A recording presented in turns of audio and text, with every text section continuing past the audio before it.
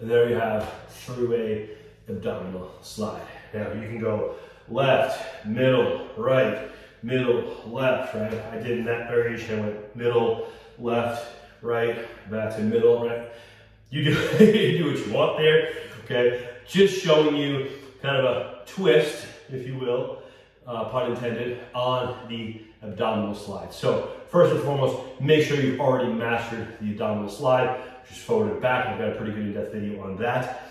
Now what we're doing is, if that's not enough, or we want to change it up a little bit, we're gonna a little lateral, a little left, a little right, a little more on the obliques with that abdominal slide.